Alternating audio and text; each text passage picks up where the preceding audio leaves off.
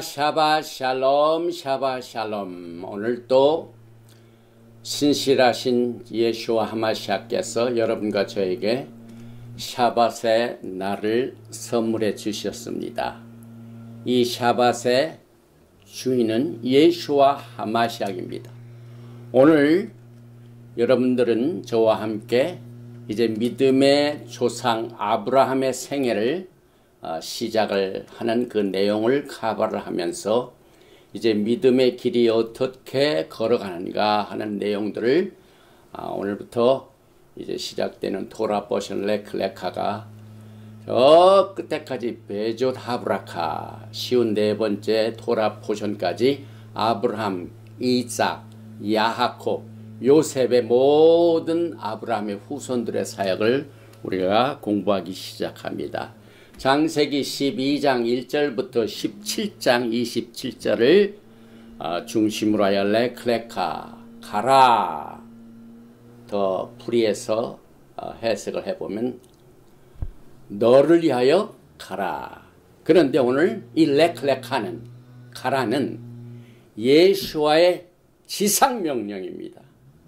오늘 이것이 어떻게 아브라함이 갈대아 울지방에서 부르심을 받아 가라 하는 이 메시지가 마태복음 28장 19절과 20절에서 지상명령으로 예수와께서 우리 주신 메시지인 것을 우리가 같이 연결하기 위해서 레클레카는 예수와의 지상명령이다 하는 내용을 오늘 살펴보게 됩니다. 제일 먼저 본문 말씀 장세기 12장 1절 이하의 말씀을 봉독을 해 드리겠습니다.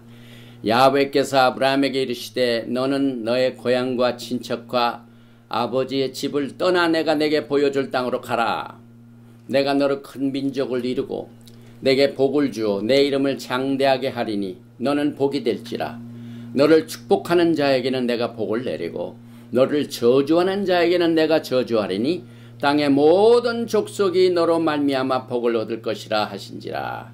이에 아브라함이 야훼의 말씀을 따라갔고 롯도 그와 함께 갔으며 아브라함이 하란을 떠날 때 75세였더라.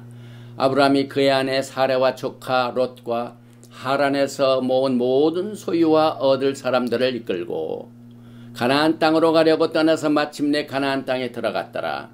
아브라함이 그 땅을 지나 세겜 땅 모래 상수리 나무에 이르니 그때 가나안 사람이 그 땅에 거주하였더라. 야훼께서 아브라함에게 나타나시되 나타나 이르시되 내가 이 땅을 내 자손에게 주리라 하신지라 자기에게 나타나신 야훼께 그가 그곳에서 재단을 쌓고 거기서 베델 동쪽 산으로 옮겨 장막을 치니 서쪽은 베델이요 동쪽은 아이라 그가 그곳에서 야훼께 재단을 쌓고 야하웨 이름을 부르더니 점점 남방으로 옮겨갔더라. 오늘 이 토라 포션 לך לך는 여러분의 믿음 생활과 저의 믿음 생활에 치명적으로 중요한 토라 포션입니다. 그래서 오늘 이 창세기 15, 12장 1절부터 17장 27절에 기록된 이 말씀 중에서 특별히 12장 1절에 나와 있는 아, 히브리어를 읽고 렉렉하는 예수와의 지상 명령이다 하는 이 내용을 살피고 난 뒤에 과연 아브라함이 하나님의 부르심을 받고 어떻게 응했는가 하는 이것은 그저 우연이 아닙니다. 하늘 밑에 새로운 것이 없습니다. 어디서 본 듯한 모든 내용들에 관한 모든 것을 하나님께서 다 그 오염된 세상을 다시 말하면 홍수와 그 다음에 바벨탑 후 그 오염된 세계를 이 아브라함이 부르심을 받고 난 뒤에 그 행하는 모든 순종의 절차들이 이 모든 것들을 다 정결케 하는 해독제 역할을 하는 내용을 우리가 타입으로 아, 알아봅니다. 그리고 난 뒤에 아브라함의 부르심과 말키제덱 약속의 언약의 절차를 우리가 살펴보게 됩니다. 이 레크레카는 12장에서는 아브라함의 부르심이 나오고 무조건적인 맹세 언약이 나옵니다. 13장은 아브라함과 롯이 서로 떠납니다. 14장에서는 살렘 왕 말키제덱이 나옵니다. 15장에서는 피로 비준된 조건부적인 언약이 나옵니다. 12장은 무조건적입니다.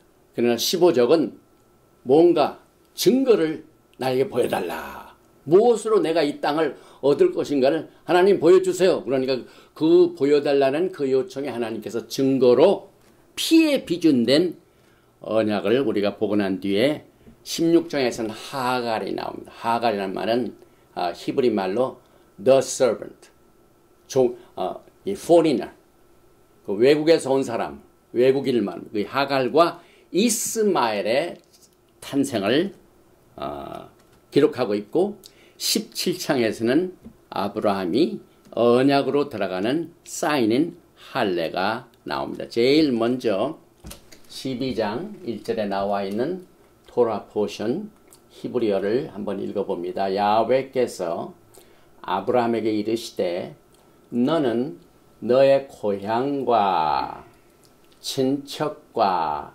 아버지의 집을 떠나 내가 네게 보여줄 땅으로 가라. ויאמר 야하웨 엘 아브람 라클라카 메아르체카 우미몰라테카 우베이트 아비카 엘 하아레츠 아셰르 아르에카 여기 바이오메.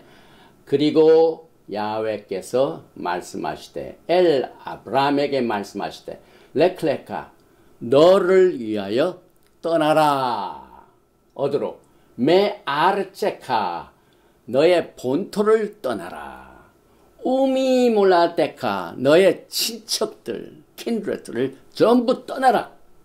ומבית אביך 너의 아비의 집을 떠나라.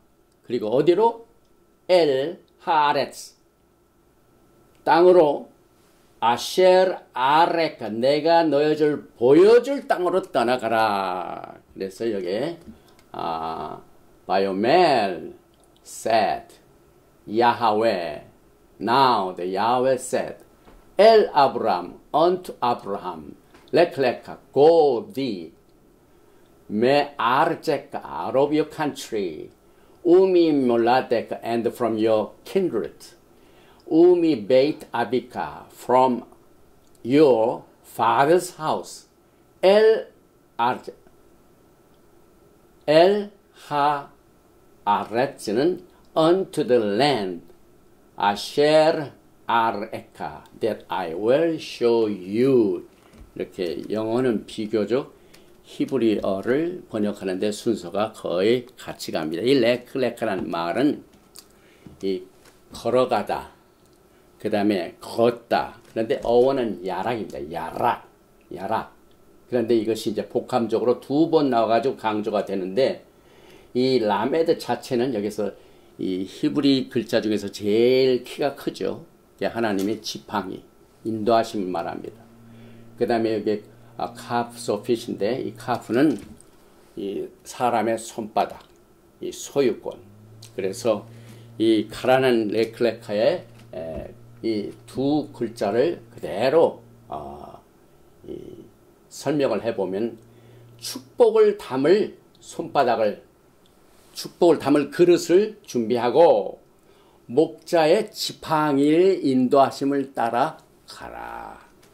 그래서 오늘 우리는 과연 아브라함이 하나님의 부르심을 받아가지고 떠난 내용들을 살펴보는데 특별히 오늘 이 토라 portion לך לך에는 하나님의 3대 타이틀이 나옵니다.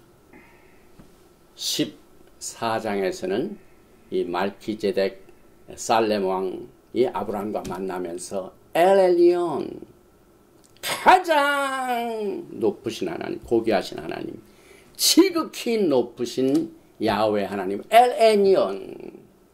그 다음에 창세기 16장이죠. 하가라고 만날 때 하갈이 하나님을 엘로에 엘로에 야외 하나님은 나를 보셨군요. 내가 나를 보시는 야외 하나님을 만났습니다. 나를 살피시는 야외 하나님. 그리고 난 뒤에 그 유명한 창세기 17장에는 야외 하나님께서 아브라함에게 나타나셔가지고 아니 엘샤다이 나는 전능하신 하나님이다. 그래서 오늘 이 창세기 14장 19절에서 그가 아브라함에게 축복하여 이르되 천지의 주제이시오. 지극히 높으신 하나님이여 엘엘리온. 그 다음에 창세기 16장 13절에 하갈이 자기에게 이르신 야훼의 이름을 나를 살피신 하나님이라. 엘로이 the God who sees me. 나를 일일이 관찰하신 하나님. 그 다음에 창세기 17장 1절에 아브라함이 99세 때에 야훼께서 아브라함에게 나타나서 그에게 이르시되 나는 엘샤다이 전능한 하나님이라. God Almighty. 오늘 여러분과 저는 아브라함이 부르심을 받으면서부터 이 우리에게 가장 높으시고 지극히 높으신 하나님이 나타나시고 또 나를 살피시고 또 부족함이 없이 능력이 많으신 전능하신 하나님을 모시고 아브라함은 하나님을 만나고 하나님의 명령을 따르고 그것을 순종한 것을 우리가 배우게 됩니다.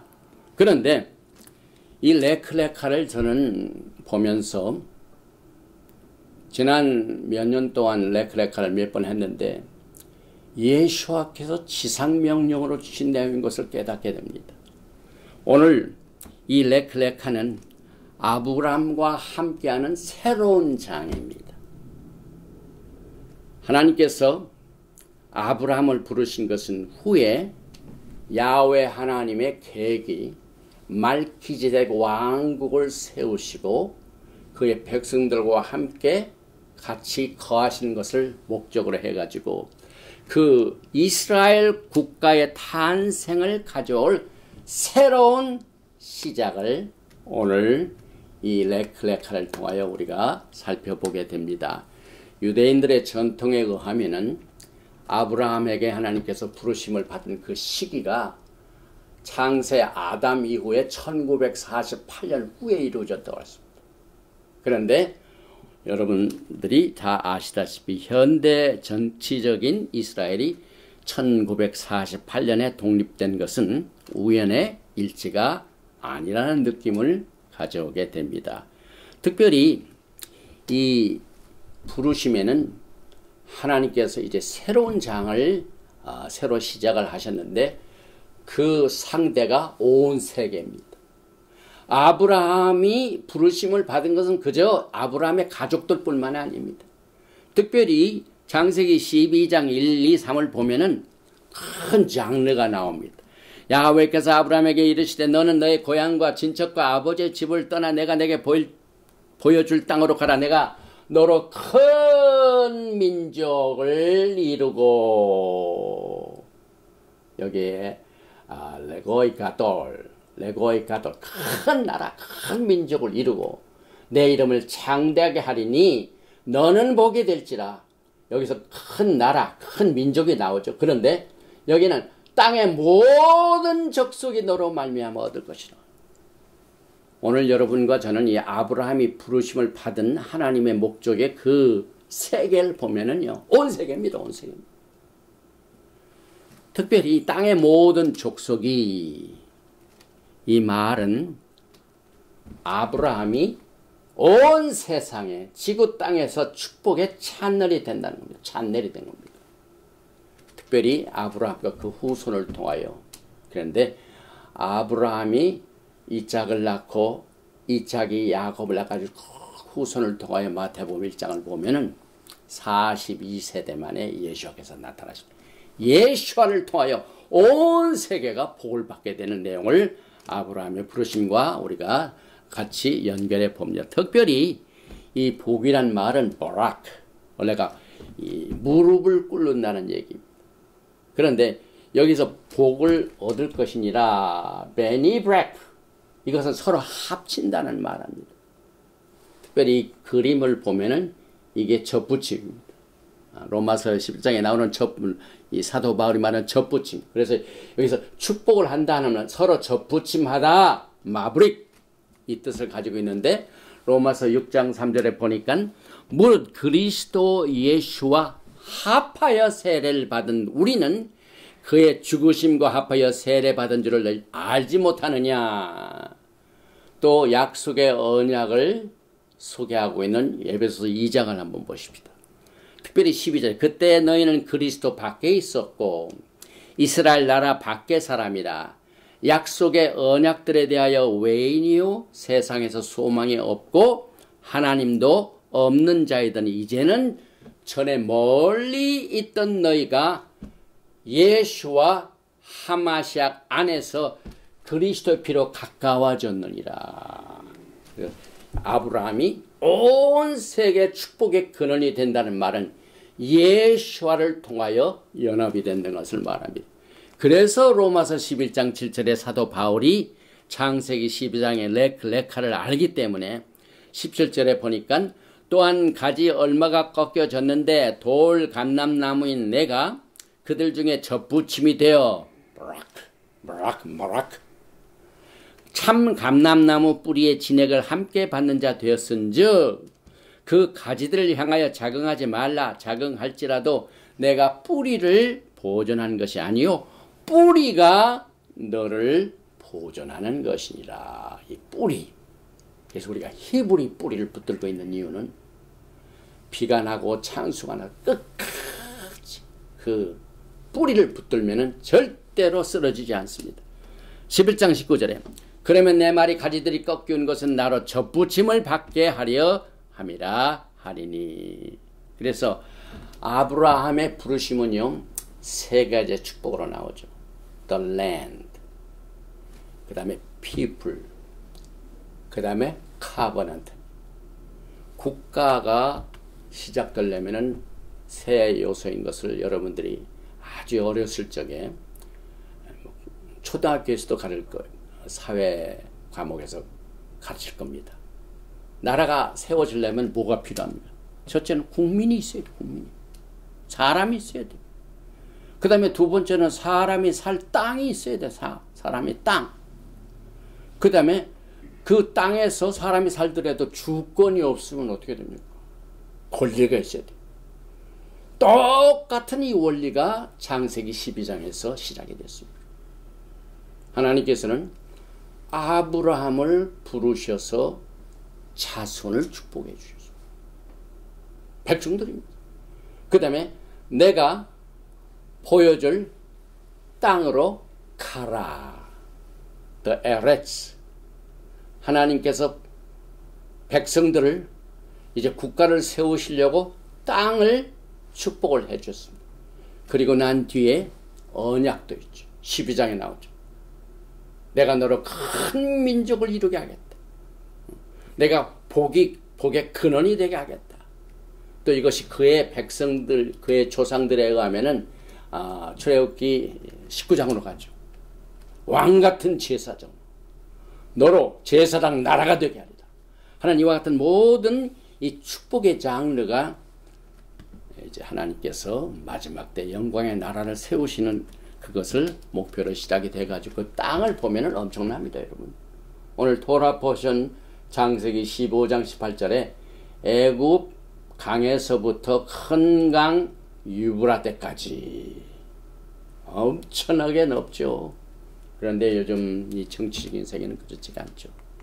그래서 장세기 22장 18절에는 또 내 씨로 말미암아 천하 만민이 복을 받으리니 이는 내가 나의 말을 준행하였음이라 하셨다라 아니라 그 다음에 장세기 26장 4절은 그의 조상인 아 그의 후손인 이장에게 천하 만민이 복을 받으리라.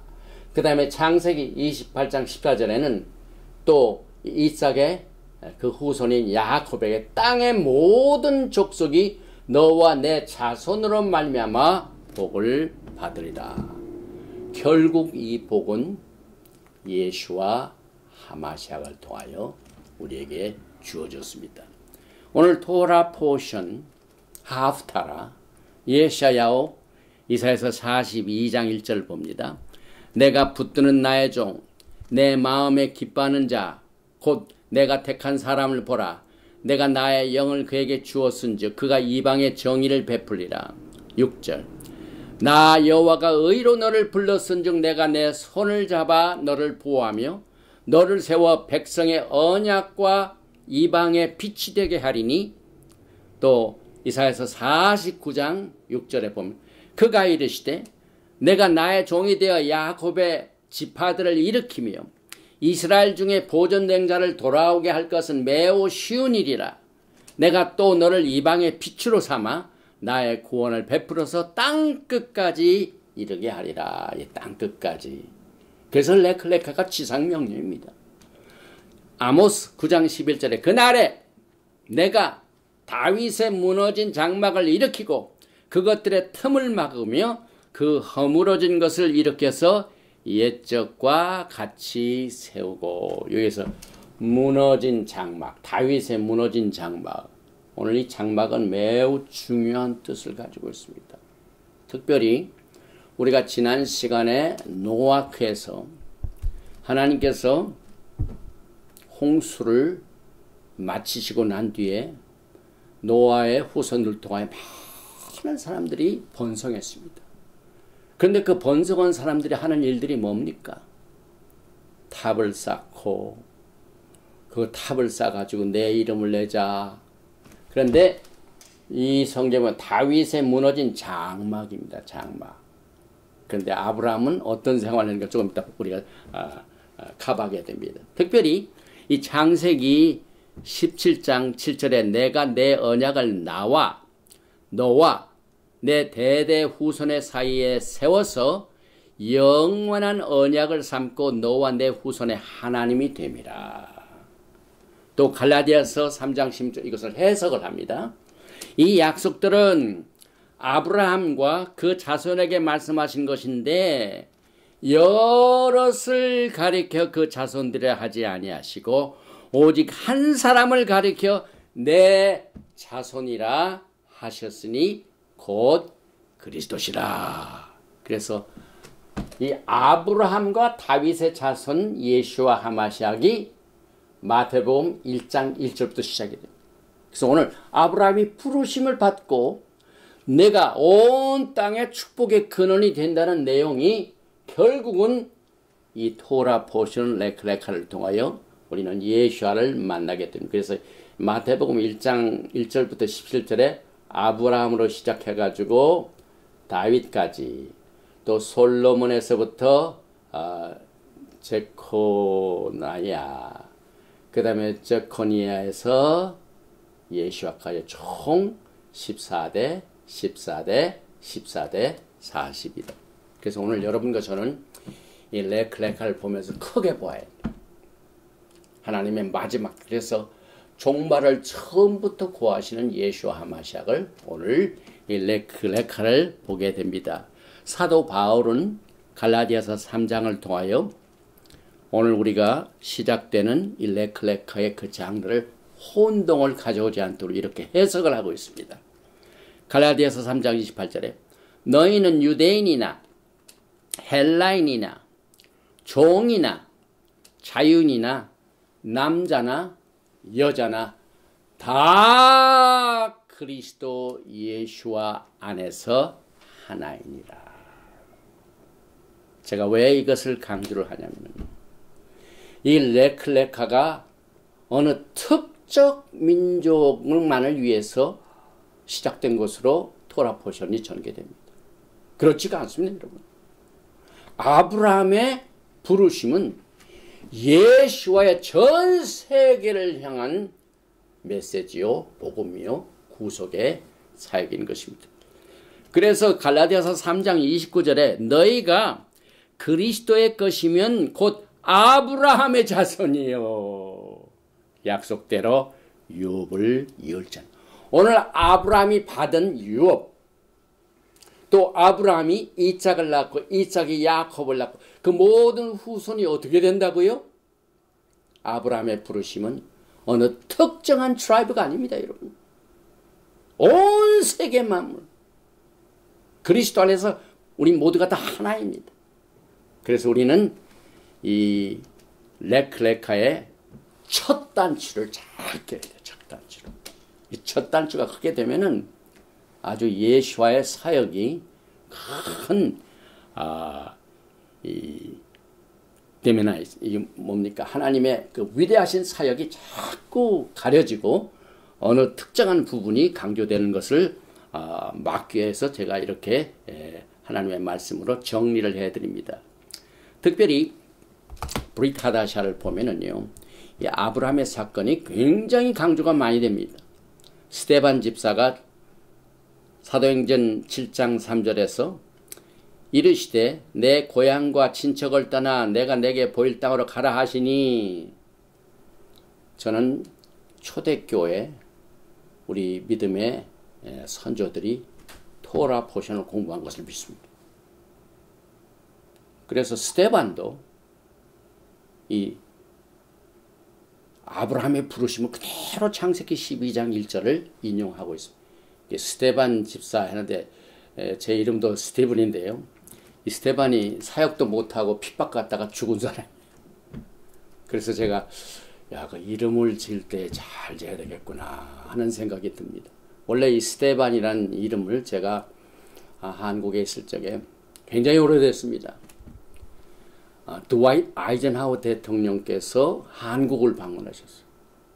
그런데 그 한국을 방문할 그 당시에 그 미국 아, 공보 비서의 아들이 제 친구가 돼버렸어요. 뭐 서울 길에서 만나가지고 영어로 서로 어, 이름 소개하고 뭐 어디 사느냐 뭐 하느냐 하면서 친구가 돼버렸어요. 그런데 아이젠하워 대통령이 온다니까 아주 특혜를 받아가지고 그 공보 비서의 아들이 그냥 저를 그때 당시에 반도 호텔 굉장히 큰 데서 예, 기자회견 거기가 들어가게 되고. 그, 그 친구가 어, 그 이후에 그 용산에 있는 자기 집에서 초대를 하고 거기에 있는 교회에 에, 가서 예배도 드리고 그러면서 저에게 에, 스테반이라는 이름을 주어가지고 그 이름이 제 이름이 됐는데 아 이 스테반이 창세기 12장을 인용한 토라 포션을 아, 제가 보게 됩니다. 또 베드로를 보십시다. 사도행전 3장 20절에 너희는 선지자들의 자손이요 또 하나님이 너희 조상과 더불어 세우신 언약의 자손이라. 아브라함에게 이르시기를 땅 위의 모든 족속이 너의 씨로 말미암아 복을 받으리라 하셨으니 똑같은 내용입니다. 사도 바울도 마찬가지죠. 갈라디아서 3장 8절에 또 하나님이 이방을 믿음으로 말미암아 의로 정하실 것을 성경이 미리 알고 먼저 아브라함에게 복음을 전하되 모든 이방인이 너로 말미암아 복을 받으려 하였느냐. 여기 보십시오. 사도 바울은 갈라디아서 3장 8절에서 오늘 토라 포션 레크네카가 뭐라고요? 아브라함에게 복음을 전하되 이제 조금 이따 우리가 마태복음 28장을 보게 되죠. 너희는 온 세상 땅끝까지 가라. 예수와의 지상명령. 그래서 19절에 그러므로 너희는 레클레카 가서 모든 민족을 제자로 삼아 달무딤 아버지와 아들과 성령의 이름으로 세례를 베풀고 내가 너에게 분부한 모든 것을 가르쳐 지키게 하라. 슈마입니다. 슈마. 이 말씀을 전하는 것서 끝나는 것, 끊는 것이 아니지요. 그 말씀을 지키게 알라카 아브라함의 행적이 뭡니까? 너 본토 친척 아비집을 떠나라 할 때 알겠습니다. 하고 그저 적당히 처리했으면 안 되죠. 그러나 그 말을 듣고 즉시로 떠났습니다. 즉시로 떠났습니다. 지키게 하라. 오늘 여러분과 저는 예수와께서 사역을 다 마치시고 이제 해 받으시고 하늘 가시기 직전에 저에게 사명을 주신 그 내용들이 오늘 아브라함과 함께 시작되는 레크 레카와 함께 이제 새로운 장이 열립니다. 그런데 마지막 때는 추수의 때로 추수의 때. 추수의 때 어떤 현상이 일어납니까? 마태복음 9장 35절에 예수와께서 모든 도시의 마을에 두루다리사 그들의 회당에서 가르치며 천국 복음을 전파하시며 여러분 잘 들으시기 바랍니다. 너희는 먼저 그의 나라와 그의 의를 구하라. 먼저 할 것입니다. 여러분 말키제덱 왕국에 대하여 여러분 얼마나 아십니까? 제가 이 토라 포션을 강조하면서 이 말키제덱 בראשית, 말키제덱 שמות, 말키제덱 ויקרא, 말키제덱 아, 바이, דברים 그냥 말키제덱 말씀하니까 이상한 것으로 여겨요. 그렇지가 않습니다. 오늘 아브라함이 부르심을 받은 것은 천국 복음을 전 세계에 전파하기 하여 이제 첫 단추로 시작이 됩니다. 그래서 30절에 보니까 아 천국 복음을 전파하시며 모든 병과 모든 약한 것을 고치시니라. 무리를 보시고 불쌍히 여기시니 이는 그들이 목자 없는 양과 같이 고생하며 기진함이라. 이에 제자들에게 이르시되 추수할 것은 많되 일꾼이 적으니 우리가 볼 때 일꾼이 얼마나 남아 돌아갑니다. 남아 돌아갑니다. 지금. 신학교들이 남아 들어갑니다. 교회도 엄청나게 퍼졌습니다. 그런데 예수와께서는요, 추수할 때에 일꾼이 부족하다.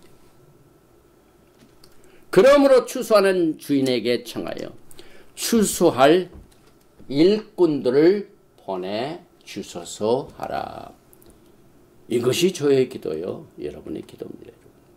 그래서 오늘 마태복음 6장 31절에는 너희는 그러므로 염려하여 이르기를 무엇을 먹을까 무엇을 마실까 무엇을 입을까 하지 말라 이는 다 이방인들이 구하는 것이라 너의 하늘 아버지께서 이 모든 것이 너에게 있어야 할 줄을 아시느니라 그런즉 너희는 먼저 그의 나라와 그의 의를 구하라 그리하면 이 모든 것을 너에게 더하시리라.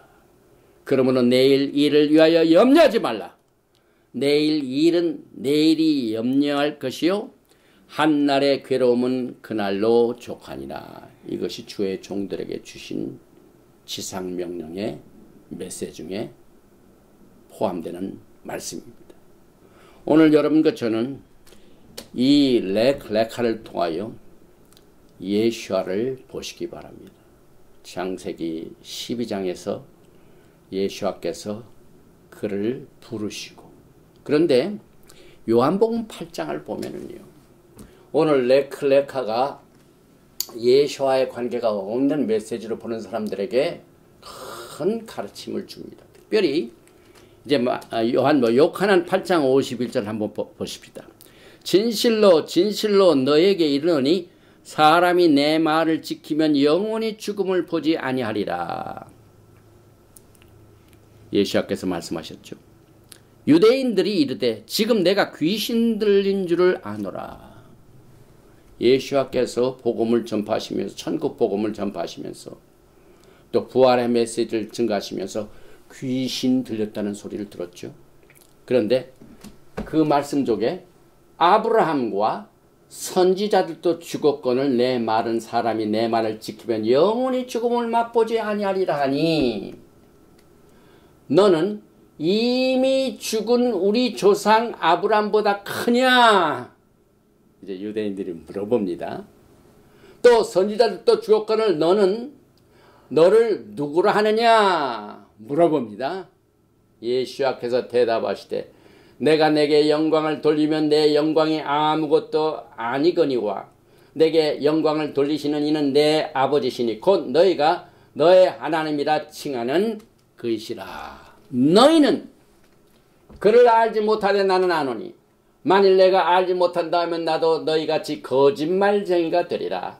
나는 그를 알고 또 그의 말씀을 지키더라.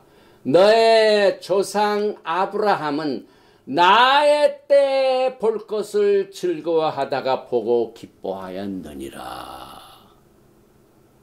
이 말 기대대 언약 가운데 예슈아께서 지난번 토라 portion בראשית에서는 이 온 세상을 창조하신 분입니다. 아브라함을 부르신 분입니다.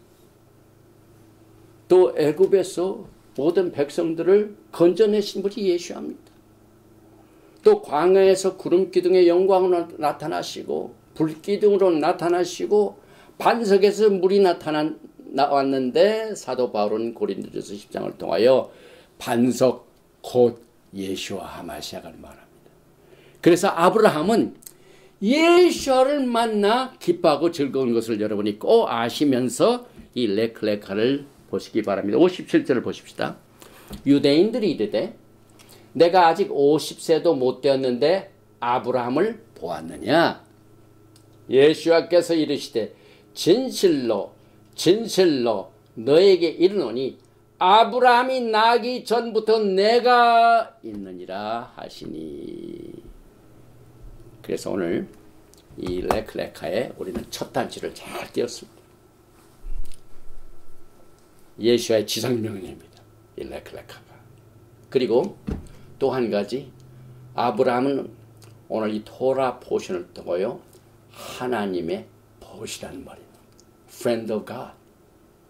또 아브라함은 믿음의 조상입니다. 그리고 또 여기서 분명히 해야 될 것은 아브라함은 예수아를 만나 기뻐할 때 그의 신분은 히브리인이었습니다. 히브리. 우리가 히브리 뿌리 또 히브리 언어 이것을 강조하는 이유는 우리의 믿음의 조상 아브라함이 히브리이기 때문에 그렇습니다. 히브리가 עברי. 창세기 14장 오늘 토라 포션에 나오는 내용이죠. 13절. 도망한 자가 와서 히브리 사람 아브라함에게 알리니. 오늘 첫 단추로 굉장히 잘 오늘 아, 맞추려고 제가 아, 노력을 하고 있습니다. 그래서 이 עברי란 말은 강을 건넌 자, 흑암의 나라에서 빛의 나라로 온 자, 저주에서 축복으로 건너온 자. 하나님께서 여러분과 저에게 이와 같은 모든 이 축복을 히브리 사람 아브라함에게 알렸다는 이 히브리라는 말이 아브라함이 토라에서 나오는 첫 번째 히브리인이요.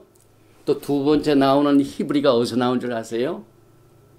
저 애굽으로 형들에게 의하여 팔려갔다가 그 애굽 정처 없는 이방 나라에서 결혼해 가지고 아기도 낳고 부인도 이방 여자를 얻었던 요셉입니다. 요셉. 오늘 우리는 이, 이 토라 포션을 공부하면서 제일 먼저 큰 이 세계를 보시기 바랍니다. 토라 전체를 한번 크게 보시기 바랍니다. 어, 종말을 처음부터 고하신 하나님이기 때문에 우리가 종말을 어, 어디서 보냐면 지금 창세기에서부터 노아에서 이제 부르심 받는 레클레카까지 왔습니다. 그런데 레클레카에 벌써 예수와께서 아브라함을 만나시 아, 아브라함이 예수와를 만나가지고 기뻐한 모습들을 예수와의 말씀을 통하여 우리가 알게 됩니다. 그리고 그는 히브린입니다. 그래서 요한복음 8장 39절에 여기 너희가 아브라함의 자손이면 아브라함이 행한 일들을 할 것이거늘 여러분 레클레카를 공부하면서 우리 믿음의 조상 아브라함을 부르심의 행적을 통하여 슈마를 하시기 바랍니다. 너희가 나를 사랑하느냐? 예수께서 말씀. 내 계명을 지키라. 이것이 여러분과 저에게 주신 이 레크 레카에서 어, 정리할 내용입니다. 그래서 예수 안에서 우리는 아브라함의 자손이므로 아브라함이 행한 일들을 해야 할 것인데 오늘 아브라함은 의인으로 하나님으로부터 칭의 사건이 나옵니다. 아브라함이 믿음에 하나님이 그를 의인으로 여겼더라. 의로 여겼더라. 이게 하나님의 은혜도 처음부터 토라 때 처음부터 하나님의 은혜가 시작되고 또 믿음의 righteousness, 칭의 사건도 처음부터입니다. 오늘 이 믿음장인 히브리서 11장이 아브라함을 어떻게 커버하고 있는지 보십시다. 11장 8절에 믿음으로 아브라함은 부르심을 받았을 때에 순종하여 장래의 유업으로 받을 땅에 나아갈새 갈 바를 알지 못하고 나아갔으며 여러분과 저 지금 예수를 아, 믿죠. 예수를 만나보지도 못하고 여러분의 전생에를 지금 걷고 있습니다. 아브라함도 그랬습니다. 가라고 하셨는데 갈 바를 알지 못하고 그냥 바로 순종했습니다. 9절에 믿음으로 그가 이방의 땅에 있는 것 같이 약속의 땅에 거류하여 동일한 약속을 유업으로 함께 받은 이장 및 약과 더불어 장막에 거하였으니 이제 조금 이따 좀 구체적으로 나오지만은 아브라함은 그 약속 땅에 들어가서 한마디로 벽돌로 뭐 탑을 쌓고 하는 영구한 집을 짓지 않았어요. 항상 장막에 거했습니다. 제가 알고 있는 히브리 teacher 중에 아주 훌륭하신 빌 클라우드 여기 시애틀 지역에도 몇 번 오셨고 제가 1990년대인가 어, 플로리다 컨퍼런스에서 만났습니다. 그때 그분은 제가 히브리 뿌리 하기 전인데 벌써 히브리의 뿌리에 대해서 굉장히 강조를 하셨는데 지금 무슨 사역을 하시면 그 교회 이름이 야하곱의 텐트입니다. 야곱 교회 이름이 야곱의 장막집.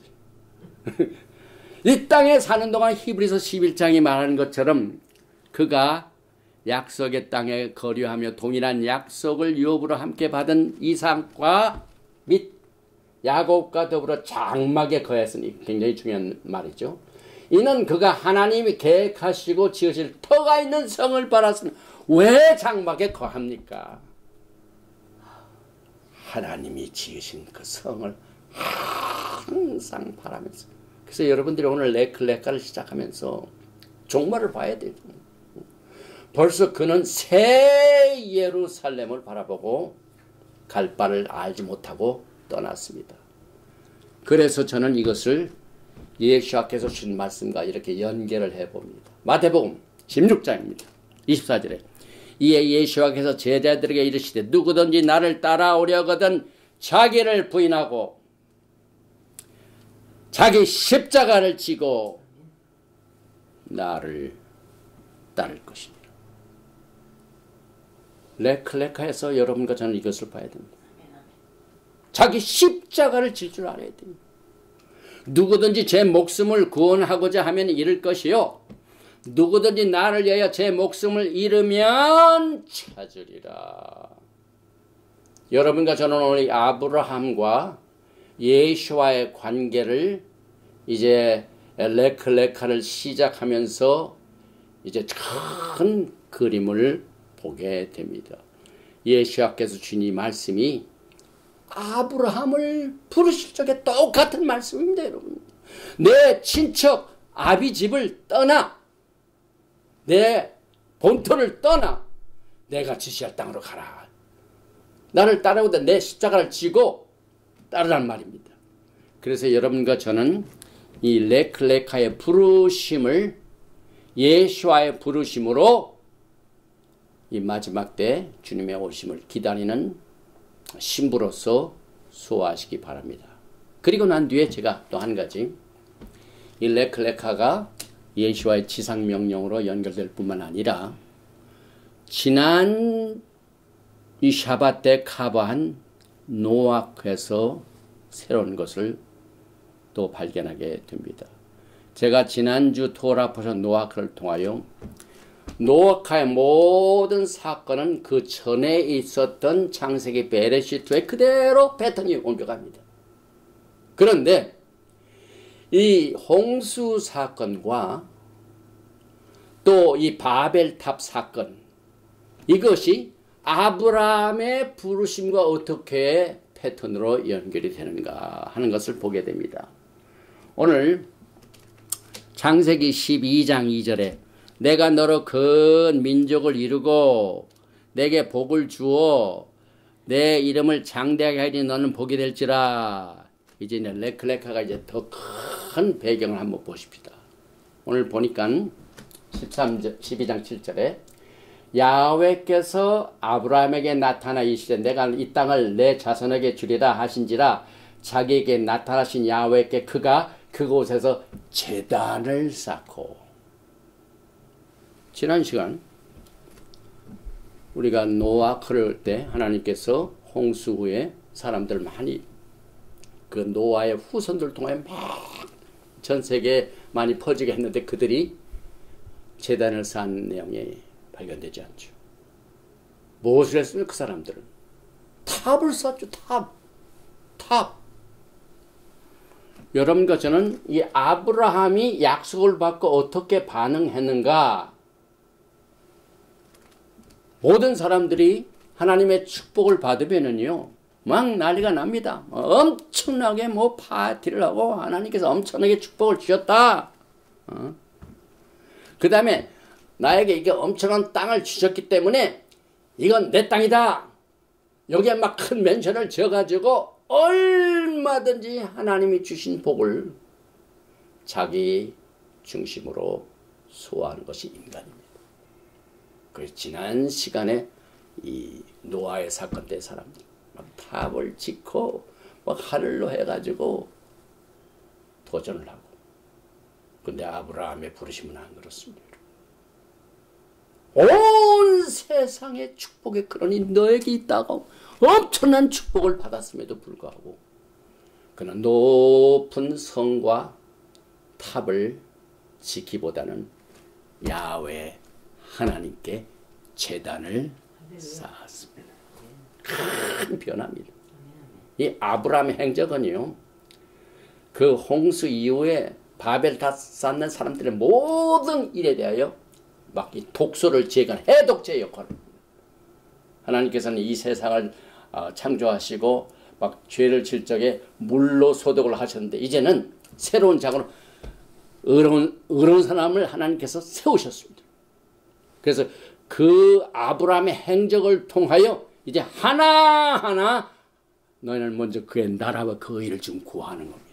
그 재단을 쌓습니다, 여러분. 또 창세기 12장 8절에 보니까 거기서 베델 동쪽 산으로 옮겨 장막을 지니기 서쪽은 베델이요 동쪽은 아이라 그가 그곳에서 야훼께 재단을 쌓고 야하웨 이름을 부르더니 노아 그의 사건에 바베탈 쌓는 사람들이 우리 이름을 내자 그랬죠. My name. 그러나 아브라함은 야하웨 이름을 이름이 다릅니다. 그래서 이 토라 포션이요. 여러분 정신 바짝 차리고 있으면은 금광을 캐는 것 똑같아요. 금광. 다이아몬드. 저쪽은 바벨탑, 여기는 제단, 저쪽은 내 이름을 높이자, 나의 이름을 어, 크게 만들게 해요. no, 여기는 야훼 하나님을 불러. 그래서 오늘 이 토라 보션 레크네카의 하나님의 이름 타이틀이 엘엘리온, 지극히 높으신 하나님. 그 다음에 엘로이, 나를 보시는 하나님, 나를 관찰하시는 하나님. 여러분이 어느 곳을 가든지 예수께서 지상명을 내가 세상 끝날까지 너희와 함께 하시겠다. 엘로이 하나님 너를 보신다. 그 다음에 나에겐 불가능이 있느냐? 엘샤다이 올마이디가 전능하신 하나님 야외 하나님의 이름이 이게 세 번이나 강조되는 것이 우연이 아닙니다. 그래서 아브라함은 야 재단을 쌓을 뿐만 아니라 야하의 이름을 부르더니 텐트는 여행용이지 정착용이 아닙니다. 그래서 아, 오늘 이 아브라함이 간 길, 길을 보면서 여기 이제 탑을 쌓는 거죠. 성읍과 탑 쌓고 우리 이름을 내고 근데 홍수 후에 세대들이 하는 모든 이 일을 주님께서는 하나님을 잊어버린 상태 하나님 이름을 보다는 성과 탑을 쌓는 이런 이런 세대들을 향하여 하나님께서는 장막을 치, 면서 그곳에서 어, 야훼 하나님의 뜻을 이루어 드리는 채널로 사용이 됩니다. 그래서 여기 장막을 치니 ויט אהלה 장막을 치. 그 다음에 성과 탑 대신에 야훼께 제단을 쌓고 מזבח 미즈베아크 재단이죠. 라 야외 여기는 아, 탑이죠. 우미게달. 탑과 비교 그 다음에 우리 이름을 내자. 그런데 야외 이름을 부르니 왜셈 야외 여기는 아, 라노셈 우리 이름을 위하여. 크게 대조가 됩니다. 그래서 이 새로운 시작이 굉장히 큰 차이가 납니다 천지 차입니다 천지 차입니다 우리 이름을 내고 내 이름을 창대하게 하리니. 그래서 오늘 이 홍수 사태, 그 다음에 바벨탑 사건 뒤에 하나님의 솔루션이 아브라함. 그래서 여러분 레클레카를 보게 됩니다. 그리고 난 뒤에 오늘 이제 정리를 합니다. 이제 하나님과 아브라함 사이는 언약의 관계입니다. 하나님께서 아브라함 부르시는 사람들과 관계를 맺기 그 관계를 통하여 교제하시기를 원하십니다. 영광을 받으시기를 원하십니다. 그래서 언약을 맺으셨는데 이 성경을 보면 많은 언약이 나옵니다. 그런데 제가 오늘 강조하고 싶은 이 레크레카에서 나오는 아브라함과의 언약은 피로 피로. 언약이 많이 있습니다. 그냥 모든 언약이 피의 비주로 되는 게 아니에요. 피의 비주입니다. 그래서 오늘 이 창세기 12장에 나온 언약이 약속의 언약이 되려면 왜가 왜 제가 이 약속의 언약을 강조하냐면 에베소서 2장에 너희가 이 언약 전에는 아, 외인이요 소망도 없고 이스라엘 나라 밖에 그리스도 밖에 있었더니 예수와의 피로 가까 예수와의 피로 가까워진 것이 약속의 언약입니다. 약속의 언약. 그래서 이 약속의 언약은 반드시 예수와의 피가 있어야 돼. 예수와 피가 있어야 돼. 그래서 그 언약의 네 가지 절차를 아, 오늘 소개하고 말씀을 마칩니다. 제일 먼저 프로포즈하겠습니다. 오늘 하나님께서 예수와께서 아브라함에게 프로포즈를 하셨어요. 그래서 결혼도 언약의 관계죠. 근데 그 결혼을 하기 전에 먼저 신랑이 신부한테 뭐 합니까? 프로포즈를 합니다. 성경적입니다. 그래서 창세기 12장 2절에 내가 너로 큰 민족을 이루고 내게 복을 주어 내 이름을 창대하게 하리니 너는 복이 될지라 프로포즈를 하셨습니다.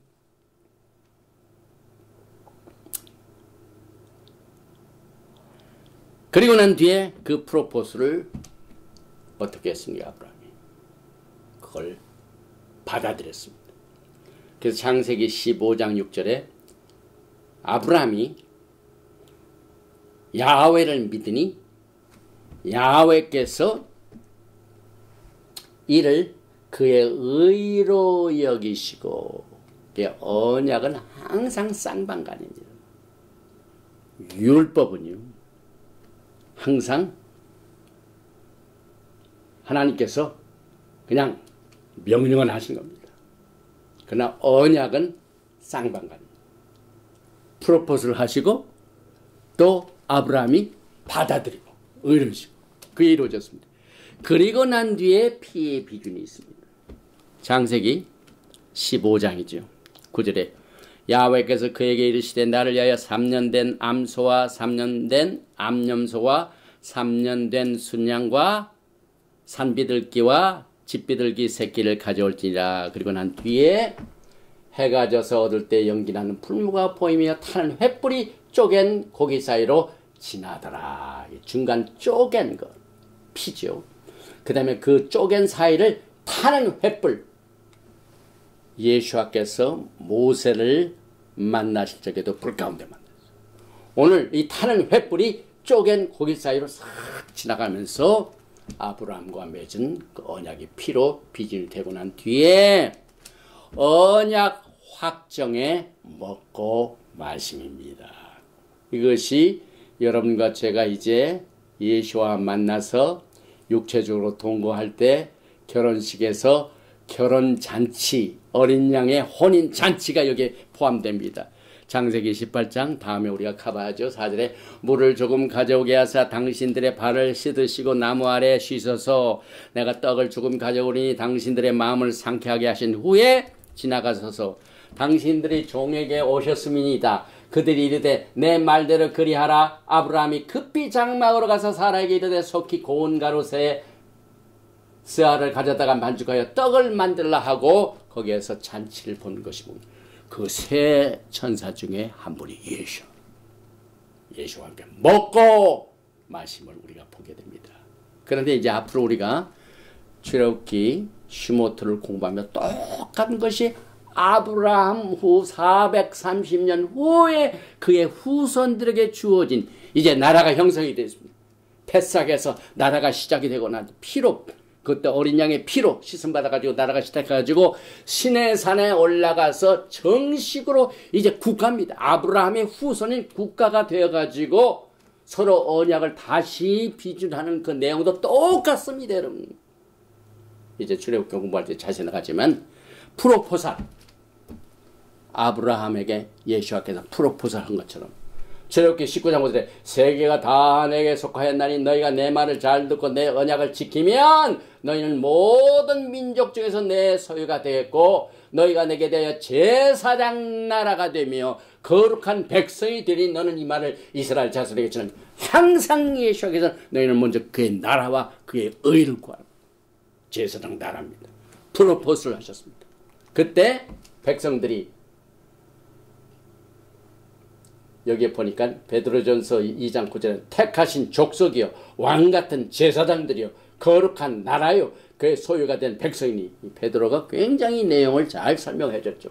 그리고 난 뒤에 초기 수락 후의 수락이 있는데 초기 수락에서는 저기 19장 7절에 백성이 일제히 응답하여 이르되 야외께서 명령하신 대로 우리가 다 행하리이다. 창세기 15장에 하나님께서 아브라함이 믿으니 그걸 의로 여겼더라. 우리가 야훼께서 하신 말씀을 다 행하리이다. 받아들였습니 언약은 쌍방간입니다. 쌍방간입니다. 그러나 범죄함으로 더하여진 것은 율법. 일방적으로 임포선, 세금같이. 이것을 구분하시기 바랍니다. 그리고 난 뒤에 피의 비중. 장세기 15장에는 소와 양 이것을 다 잘랐죠. 중간을 쪼갰죠. 마주대겠죠. 피가 났죠. 그 뒤에 헤프스를 지나갔죠. 이제 보니까 출애굽기 보니까 24장 8절에 모세가 그 피를 가지고 백성에게 뿌리며 이르되 이는 야훼께서 이 모든 말씀에 대하여 너희와 세우신 언약의 피니라. 언약의 피니라. 언약의 피니라 여러분. 언약이 많이 있습니다. 그러나 피의 비주는 약속의 언약입니다. 그리고 난 뒤에 먹고 마심이 있죠.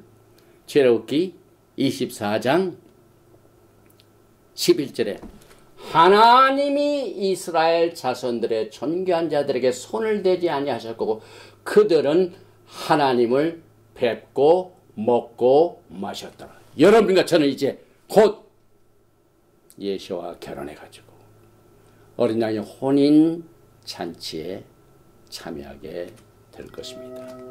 오늘 여러분과 저는 이 토라 portion